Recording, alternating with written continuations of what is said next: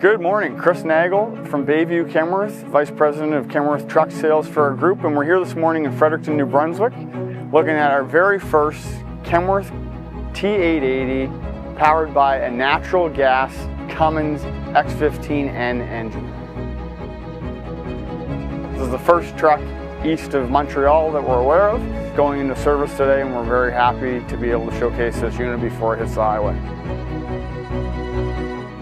This is so important to the industry because with the pressures of complying with the greenhouse gas and EPA uh, legislation mandates to go towards decarbonization, this is a great step forward. This truck is 90% better than the current benchmark that EPA has set forth in terms of emission regulations.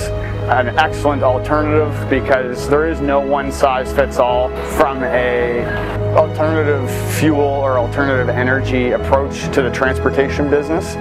We believe it's never going to go all electric. There will always be a place for things like diesel, electric, natural gas, and even hydrogen. So it depends on the application. So with the way this truck is currently set up and the application, it's very similar to diesel in terms of range and power output, making it be able to do the same job a diesel truck would do, but with less of a greenhouse gas footprint. So Atlantic Canada is, is taking strides to get to the position of greenhouse gas. We have a long way to go in terms of infrastructure for electric, uh, for charging points for Class 8 trucks, which is why natural gas is a great fit. There's a, currently a few refueling stations for natural gas, and as we grow this business model, uh, there will be more.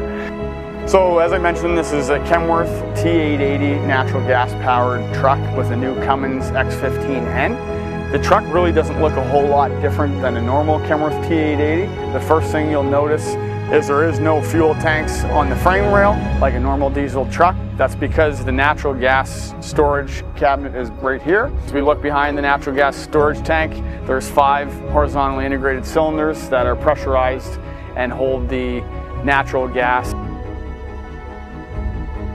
Very similar to the current X15 diesel powered application that you see in most of our Kenworths. The only thing that's really different about this engine is the top half of the engine, the head, and the fueling system. Besides that, there's a lot of commonalities with the current X15 that's in production that runs off diesel, so that's great for our customers, our service centers, and you know the trainability aspect with technicians is not as scary as it was in previous generations of natural gas powered trucks. A lot of commonalities from that perspective with even the parts department. So we're quite happy with that and quite happy with the partnership with, with Cummins on that. So.